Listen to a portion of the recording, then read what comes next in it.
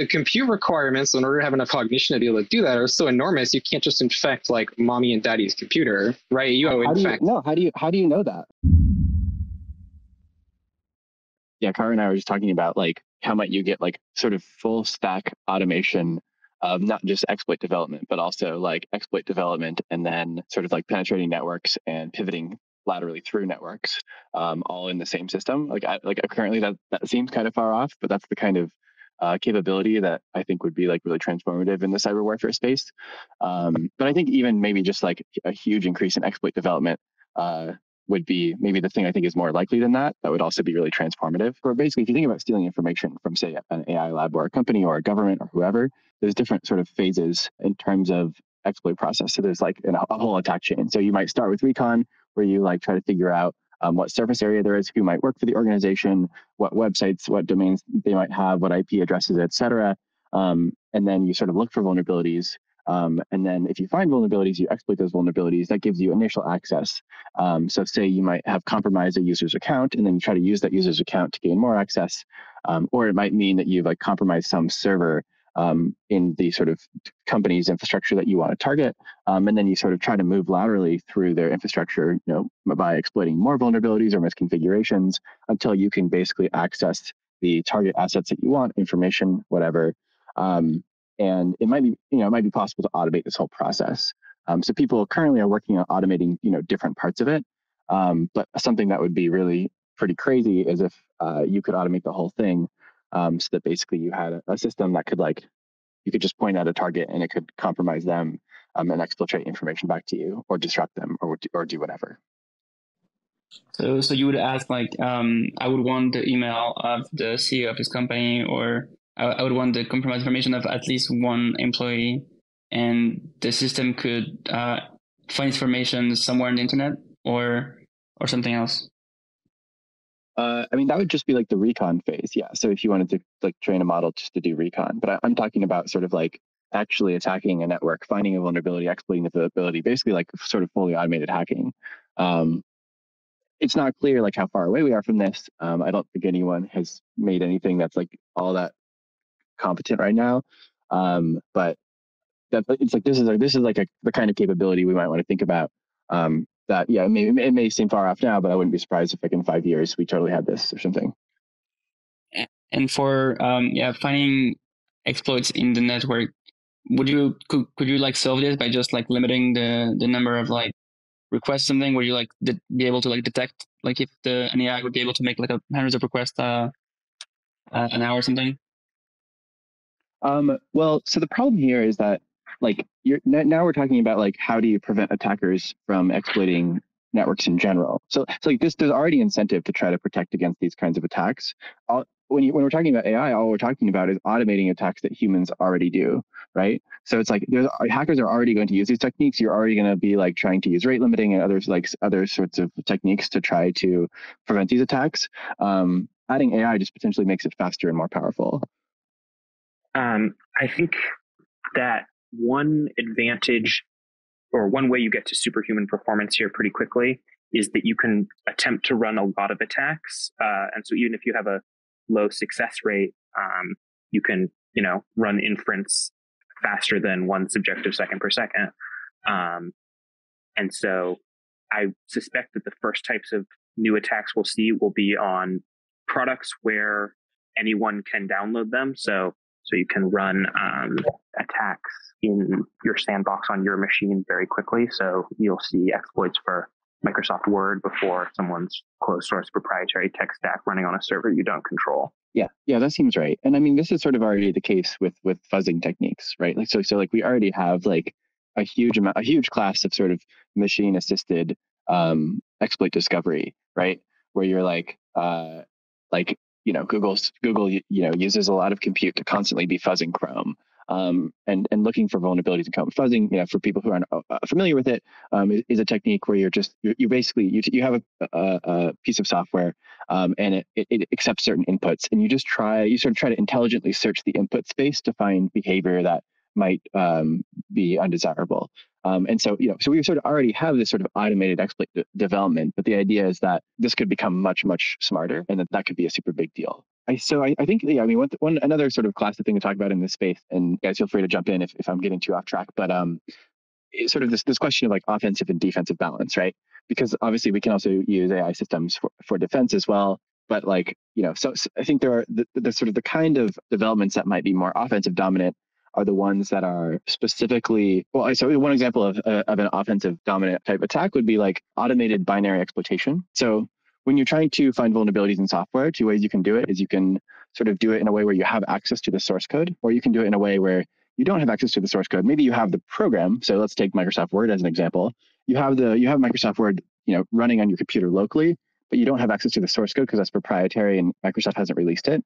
If you can do exploitation on just the binary that's something that's like more offensive dominant than when you can do exploits re- that require the source code or, or you know, like source code helps you a lot because defenders will have access to the source code generally. Microsoft is going to have access to their own source code. So when they're trying to find vulnerabilities in it using the source code is a thing that they can do but the attackers can't do.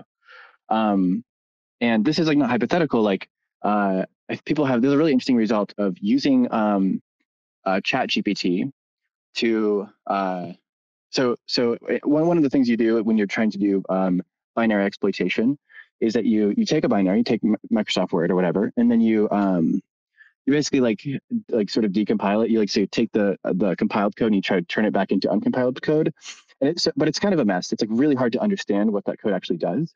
But Chat GPT, you can now sort of feed that the the outputs from that tool into ChatGPT, and ChatGPT can annotate all the code and like tell you what all the functions do, which like really speeds up the exploit development process. So it's a very cool tool, but it probably is more offensive dominant than, than defensive dominant.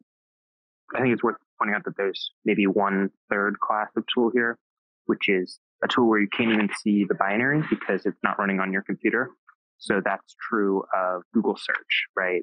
You can interact with the service, um, which means that in principle it's possible to exploit it, but uh, a big part of the attack surface you can't even see the binary for, and so you can't decompile that. So I would expect um, the first types of exploit tools to look at source code, and then the next generation to look at binaries, and the third generation, so to speak, to be able to attack remote machines.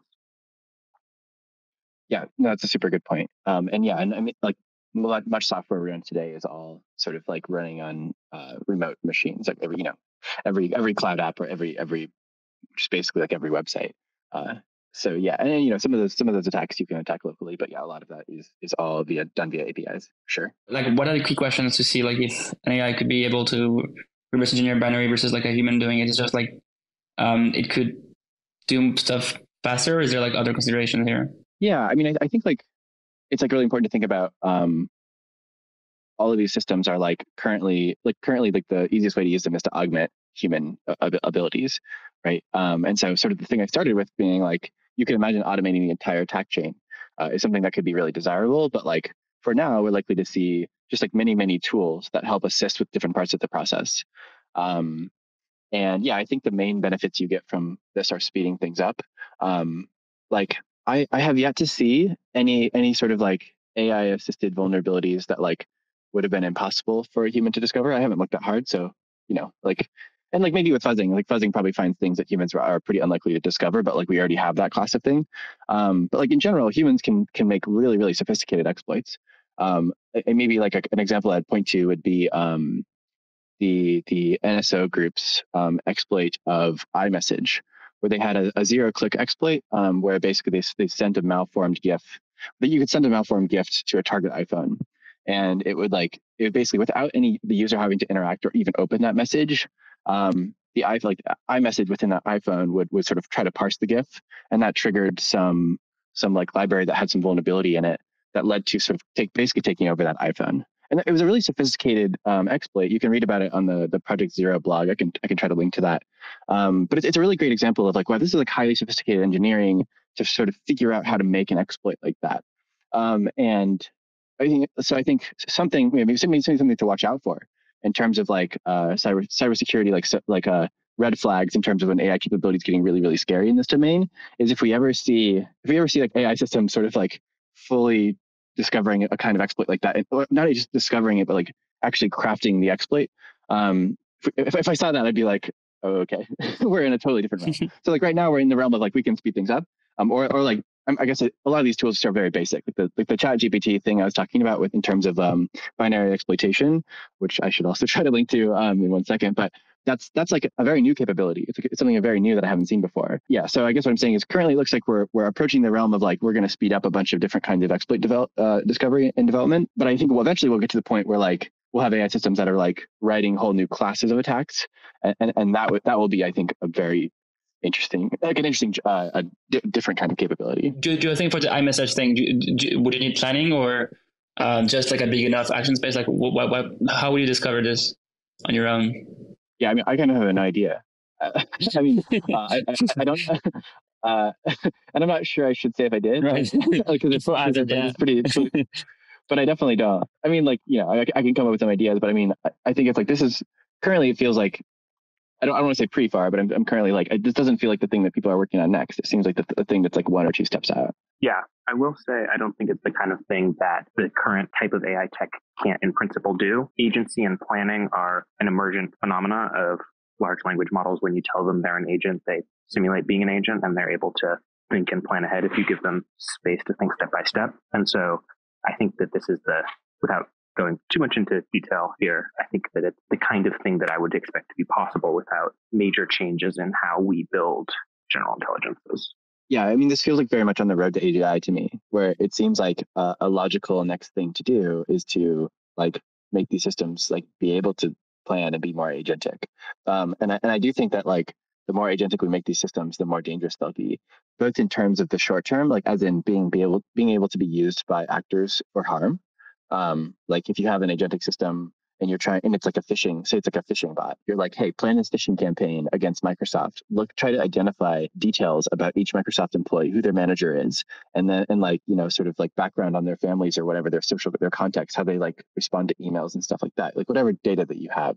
Um, and then you like that that that um that bot basically plans a phishing campaign and like sort of crafts all of the emails and like and it like responds to the emails. It's not just like sending one one and done. You could do that with the language model today, but like it actually sort of like keeps up this whole email thread and, and it tracks you know the different ones and how much they've succeeded and like collects stats on them. You know, like that's the kind of thing that I'm like, well, yeah, that's now you're talking about an agent that can do sophisticated planning. And so I'm like, that kind of capability is dangerous, I think, you know, in terms of misuse. But then it's also going to be like on the road to AGI, which is dangerous, you know, at the existential level because you know those systems are like the kind that will be able to like you know potentially you know be deceptively misaligned um, sort of carry out a treacherous turn et cetera one of the things that these models currently don't have is any sort of ability to shell out to say a sat solver and you know a lot of the ways that people have or one of the ways that people have like classically approached trying to find exploits for systems is you are able to either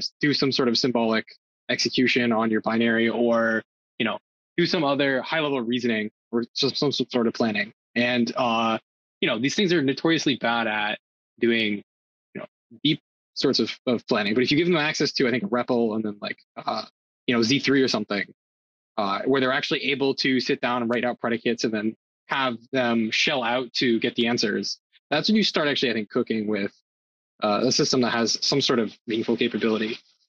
Um, I mean, they clearly also struggle with planning for other reasons. Like, for instance, they have limited memory, right? The like 4096 token uh, buffer is like clearly an issue that needs to get resolved um, in order to be able to do any sort of like longer horizon planning.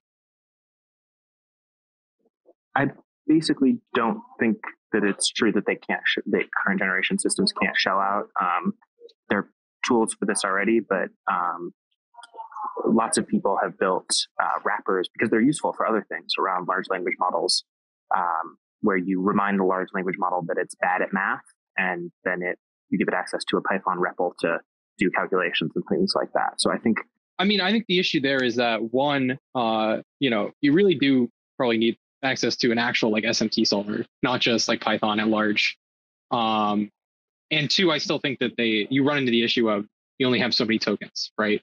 If it's going to spit out a program to solve a problem, uh, you either need to like delete from its memory what the program was, so it doesn't actually remember what it does, or you know you need to do something else to be able to preserve your, uh, you know, your history. And uh, frankly, you probably need to move towards like either a pushdown automata or more likely like a straight up neural Turing machine in order to actually be able to do these sorts of like arbitrary horizon planning tasks. Um, I agree that the context window is a big limiting factor here. Um, although I, am not sure I understood your point about why a SAT solver would be different than a Python REPL. Like those seem like the same sort of task to me. I think that the uh, SAT or an SMT solver is a better like abstraction in order to be able to reason about whether or not you're able to, uh, you know, find a vulnerability versus say, uh, you know, writing arbitrary Python code. Right. This is traditionally what people have used in order to do program verification and whatnot.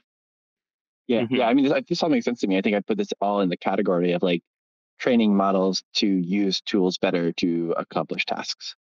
Um, yeah. And it just seems like this is so useful for a, a broad variety of tasks that, um, in like hacking is definitely one of them, but like there's so many, you know, there's so many, like this is what humans do. So like, of course, other, you know, other agents would want to do this too. There's also like a question by Robert Long. A lot of concrete tales of AI takeover involves hacking of things. Example to get a compute access without being noticed. Does it seem pretty plausible? Any comments on those kind of scenarios? Example Gwern's from a cyber perspective. I like Gwern's story a lot. Um, I think it. I think it's like it's definitely plausible at some capability level. And the question is like what capability level that is. If you imagine a fast takeoff where you like suddenly get superhuman capabilities in hacking, I'm like, yeah, sure, no problem. Um, but if you're imagining a slower takeoff where like you have around human level capabilities, but maybe you have some benefits, like for example, ability to like scale your your own model to have like a ton of like hacking agents or exploit development agents or something like that. Um, I think it's more complicated. Like it's definitely much easier to sort of penetrate a system than it is to sort of secret, you know, covertly penetrate a system and use a large amount of resources without getting noticed or shut down, right? Like at some level, it's like, okay, if you hack AWS enough, they're just going to pull the plug. There's like physical fail safes in some cases. Um, and but there's also questions of like, oh, can you re-architecture yourself and like run on consumer consumer grade CPUs or GPUs, which again is like, you know, what is your capabilities level? I, I think it's a good question. It's just like, well, I can see a lot of potential scenarios there. I also think there's a less doomsday version of this, or a on the way to doomsday version of this, where you you can just buy compute, right? And so if you're an agent, agent that's capable of, you know, interacting with web pages and filling out surveys on Swagbucks to get, you know, cash to spend at AWS, then that maybe gets you the compute you need to scale your capabilities without being noticed. And, you know, that's not even really an exploit. I guess it's an exploit of survey taking or odd job you're working. You're letting an AI do it, not a human, but it's much less cut and dry as an exploit you have to get away with this seemed like a great place to tie back into AI governance because it seems like, hey, let's not have models buy more compute for themselves. yeah, but I guess how, how, would you know? Like, you would just like like ask for an ID for every time you you buy compute. I think I think do, do AWS or Google Cloud ask for your ID? I, I'm not sure. Yeah. They don't unless you're trying to buy really very large amounts of compute. And you can basically create an arbitrary number of accounts buying small amounts of compute, at least today yeah, here here is where I think that if we think this is a realistic threat model, and I, and I think it could be, I don't, I don't have a clear sense of this right now. Um, it might be a place to target regulation to say, hey, hey, we need like we need really good compute monitoring. Like we we really do not want um, AI systems to be able to grab compute without us noticing. Like like underline that a lot. and so I think like, uh, you know, there's a question of like, well, how do you detect it? Or like, how do you make sure, how do you prevent against like multiple accounts? And these are all good questions. Um, and I think, you know, those are the questions that would need to in, inform the regulations or, you know, even, even before we get to the regulatory level, just like, I, I mean, I don't think that AWS or, you know, I don't think Amazon and Google and all these other companies want you know rogue ais running around grabbing more compute like i mean even if it's like still like working for a company even if it's not like you know we're not talking about yeah like like getting away from you but just like having a lot of human oversight over that seems super wise. Yeah, I, I think it's hard to like ask um, right now um, every like compute provider to like be or, or like ask for more regulation on this because if um, if you could at, some point like have AIs automatic automatically like request more compute when they're like not connected by compute, like, there could be like economic incentives in like having AIs do the thing for us. But yeah, I, I can see why in terms of safety it could be like um, important. Yeah, I mean maybe there's like a continuum from just like a cluster that auto scales to like the model asks for more compute, right? So I, I see what you're saying, um, but I but I also right. like I also expect that there are some lines in the sand we could draw that that companies would be probably down with. Like I, I don't think that it's like potentially that big of an issue, especially as like, you know, because like I think I, I, every company would agree with, with with the case like, you know, some AI model that no one is controlling that's just like buying and buying more and more compute because it happens to like find a weird revenue model and just like is trying to scale itself to the whole internet. I'm like, yeah, no one wants that. So it seems like I mean, people might not believe it's plausible, but like if they do, then I think they'll be down to like want to take some action on it. And then there's like the question of, well, what what happens when you get closer to like, well, it is kind of working for the company, but it's kind of on its own too, and it's complicated. And yeah, that's more of a trickier case. But I think we could start with the obvious case and then like work inward. How realistic is it that your system is going to be able to like collect without anybody noticing sufficiently large amounts of compute that they're able to meaningfully self-improve right? And if that's so if that's the threat model right like is it really the case that compute's the uh, limiting factor and not say data? Right like i don't know i'm a little bit skeptical of like uh you know oh, we need to start like gaming out uh limits because our theoretical ai system is going to start filling out surveys in order to get enough money to be able to buy enough you know uh, H100s to to scale up its its training. I'd also say that you want to be focusing much more on inference compute than training compute. And that if you have a system that's already human level intelligence, it might not need to train itself for that much longer. It might just be scaling up the number of subjective seconds it can simulate for every clock second. And at that point, that's probably good enough to do some pretty pretty real damage. I think the inference yeah, compute I point is really good. Like basically, basically because like it, it suggests that like uh, marginal amounts of compute might st- still be really useful, or, or, or like maybe not even marginal amounts, but like much less, much less than like your training, like much less than than training cost. Like training cost might be huge, and then like you're working with imagine like you're working with this like model in in a lab environment where you're really only yeah you're only running like you know one one to, to 50 copies of this model um, and then if it can like suddenly grab compute for a thousand like that's actually a huge increase in terms of its potential capabilities um, and and I, I don't think this is unrealistic like if we're talking about like working with models where we're like, well, we think they're kind of aligned in some ways, but like, and they're like kind of corrigible, but like also we're not really sure. And like, we don't necessarily know whether we're in like an extremely dangerous domain or not. And we're trying to be really careful. Like, like sort of sort of like if that if that suddenly can grab more compute and like you know this is probably like there's a lot of cybersecurity controls you want before thinking about just like compute regulation um uh, granted for sure but like i do think we want to think about like not just letting it like burn uncontrolled on, the on the internet of compute like on compute like right because like that's like I don't know. It seems like you could potentially get like it could get away from you very quickly in in that environment, especially if it's like not superhuman. It's just like quite smart. All right, I have a dumb question why is it that there's this AI that's just allowed to scale and consume arbitrarily large amounts of compute, right? Somebody had to have created it. Why are they allowing this agent to just be economically independent? Right? If if you're the one who built it, why wouldn't you be the one who wants to collect the value from it, filling out the surveys and whatever, and you know, making the decisions how much it can scale and whatever? And at which point it's not a question of whether, you know, the government has to make sure that it's not an AI asking to to ask for compute to scale up. It's asking, you know, whether this corporation who wants to extract value from it, right? Like, I don't know. That's why I always have trouble with these scenarios is like people seem to like skip over the part where somebody made this AI system and now they just release it in the world and don't want to capture value from it. I and think, and I feel like um, people would notice like along the trajectory here, right? Something's up. Like it's not just the case that's like you're gonna wake up one morning and all the AWS compute's used by a uh, AI that you know doesn't have a progenitor and uh, and whatnot. One potential avenue for this looks like you deploy a fairly general intelligence uh, with a goal. You have some system where it comes up with a plan and then starts executing on it, and it works. You know, a few times in your testing environment, and so you deploy it, and then once you're running it at scale, you end up with a you know generation that says, to solve this problem, I need uh, more compute. How can I get more compute as a plan in an unsupervised environment? As an instrumentally useful goal for whatever your terminal goal is, because having more compute is a yeah, but then the organization who made it, it like will terminate the system because it's blowing through their AWS bills doing form fill outs in order to then sign up for more AWS instances, right? In worst case scenario, you you call AWS and you're like, listen, I accidentally released a worm. Like, very sorry, please turn it off. Like, Thank yeah. you. Well, that's not the worst case scenario. I mean, I think I think I think like you're, I think what you're saying is, um, okay, it seems like it seems like in the early stages, companies will still be able to have control over these systems. Like that one that they'll want control, and two that they'll be able to maintain control. Um, and so I think we can talk about failure cases that are like various ways in which they lose control. Um, so sort of analogously, um, you can look at like say the WannaCry uh, ransomware virus, right? Where like the I think the, probably the North Koreans developed it, but it seems like maybe it actually got out of their labs before they intended to release it because there was like a URL that they didn't register that was basically like a, a shut off switch. Like the worm would basically like call out to that domain and if it existed would like stop. Um, or like and so and then like some you know the hacker who discovered it basically like registered that domain and was able to stop the spread of this thing.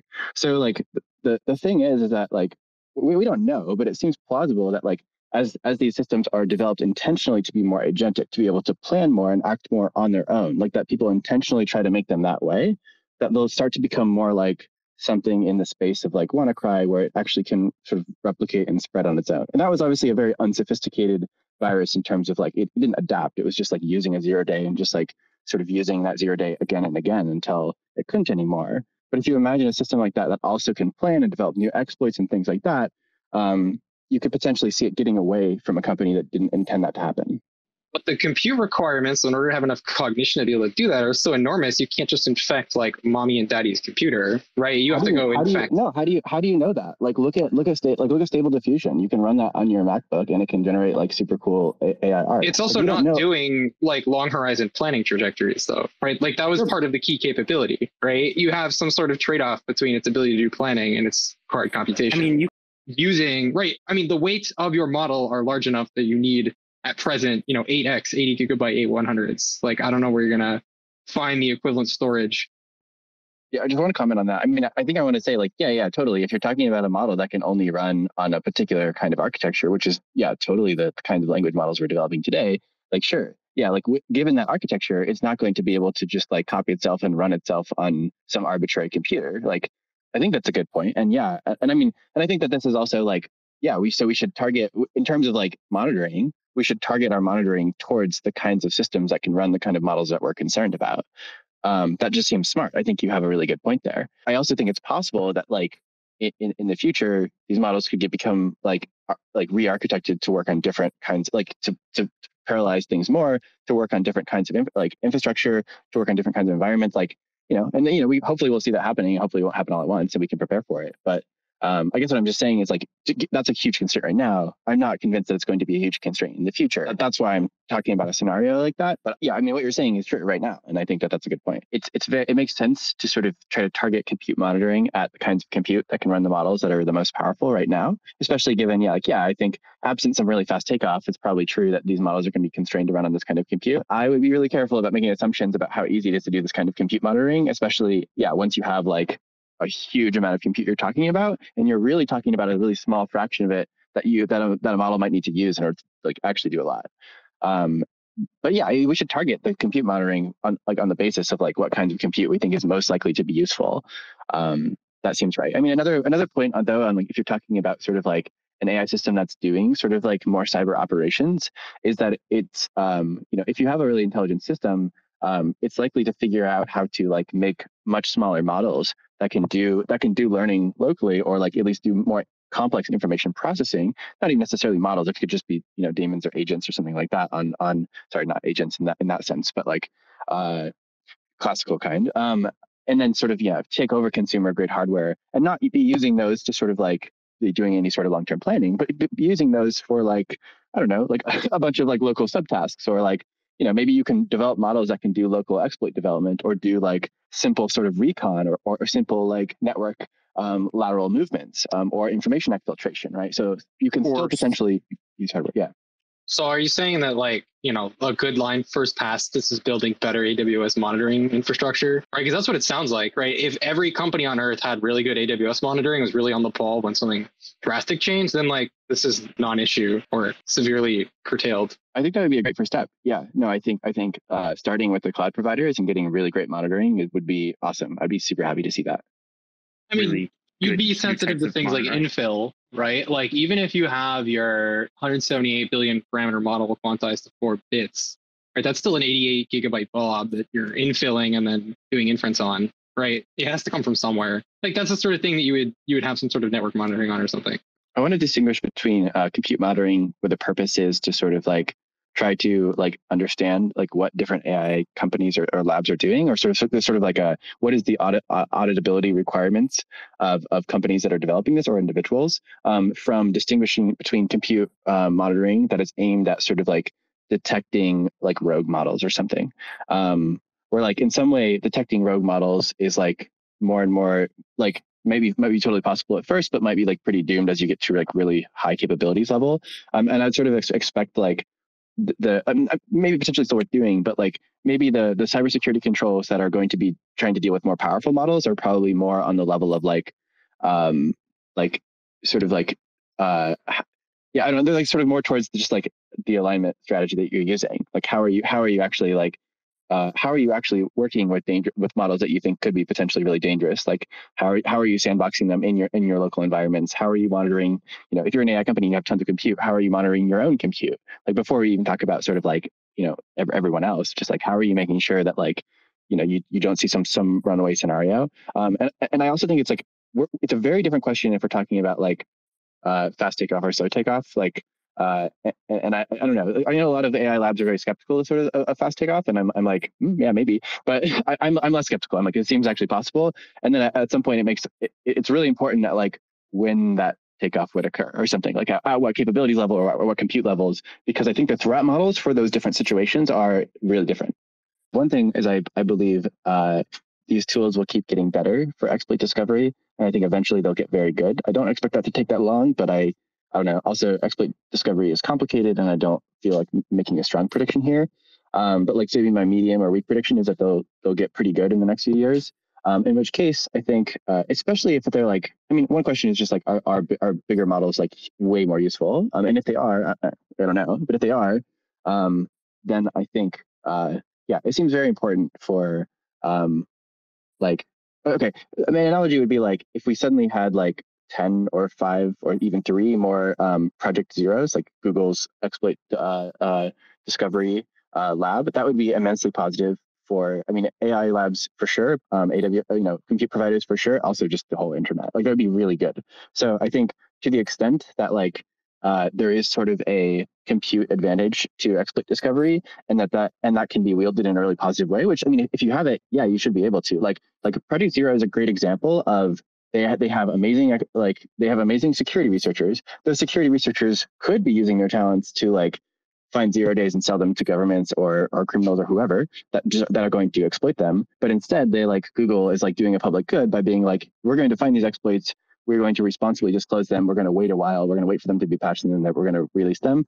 I mean, it's it's a little complicated, but like I'm like, yeah, if we could have models that would do that, I would be so happy to, to do that. And I think most of the AI companies would be pretty on board and pretty willing to do it in a very responsible way. Like, and, and I mean, I've like worked for labs before, and I think that this seems like, you know, without saying like what exactly they do, I, my suspicion is that like most people in the space, most labs in the space would be very happy to do that if they could. I think that that's very likely. Um, also, I have to go, but it's been great talking to you guys. Yeah, I need to run too. Thanks, guys.